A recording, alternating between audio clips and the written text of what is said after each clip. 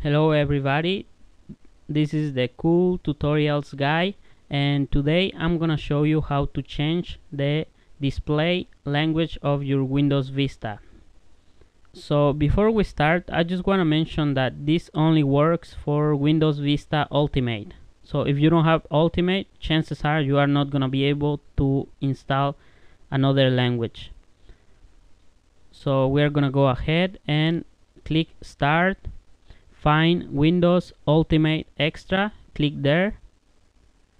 Chances are you already did that. You already installed some languages. In case you haven't done it we are gonna go ahead and install some languages. So click on view available updates. And here you can install all the updates here for Windows Vista. Here I already installed Spanish so I don't really need to reinstall it but here you are going to be able to choose many many many languages. For instance you can you can install French. We are going to choose French and we are going to click install. Always click continue.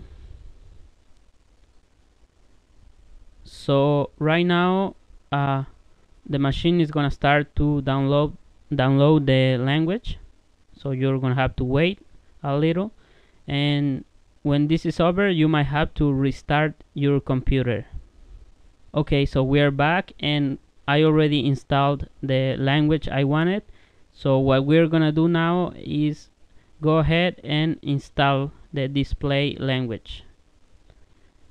So you're gonna go you're gonna click start control panel and here you're going to choose this option. And if you if you don't have this this window similar to mine just make sure you click here. And then you go you go ahead and click clock language and region. Here there's an option that that's gonna allow you to change the language. You have to click it.